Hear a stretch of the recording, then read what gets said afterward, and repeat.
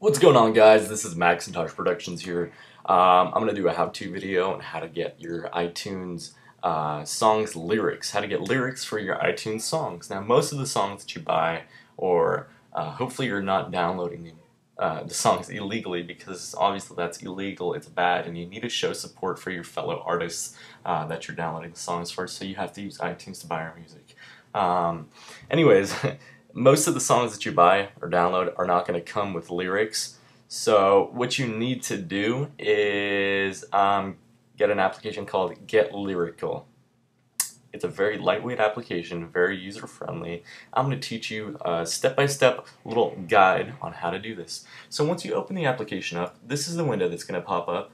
Um, it's very lightweight, it's very small, compact uh, in one little box. So um, if you want the lyrics to, let's say, Forever Neuromix, you're just going to highlight it, make sure it's blue, go into your Get Lyrical application, and we're going to open this uh, little eye right here, which shows the lyrics, and then we're going to tag current.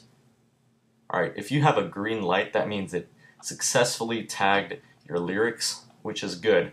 And now when you right click this, get info, you're going to have your lyrics right here.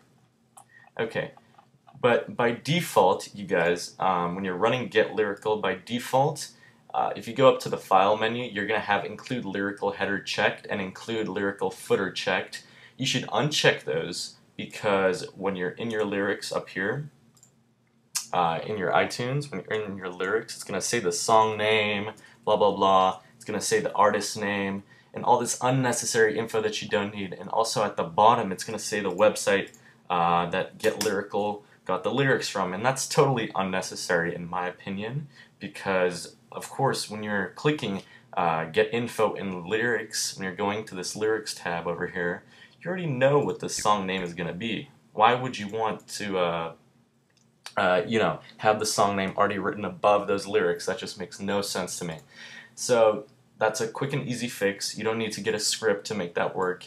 And if you want to uh, get multiple lyrics for multiple songs, uh, you just highlight like this. You click one song, hold shift, and go to your desired song that you want to highlight.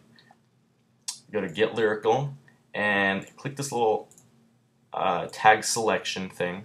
Would you like to overwrite existing lyrics? I'm going to click yes, and this window is going to pop up up here. Uh, this is going to load up.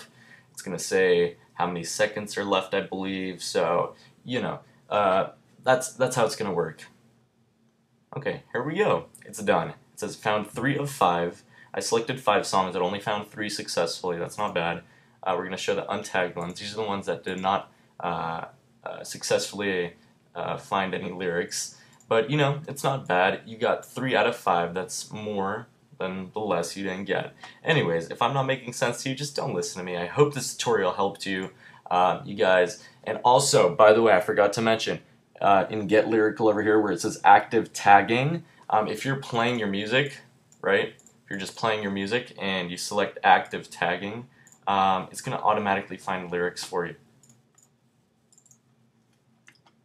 In Get Lyrical. It's going to automatically do the, the little magic thing it does. Alright, peace guys, please subscribe. Um, if I get 800 subscribers, I will be giving away a $25 gift card uh, of your choice for Walmart, Best Buy, anywhere, GameStop, you name it, you will get it if you win. Peace!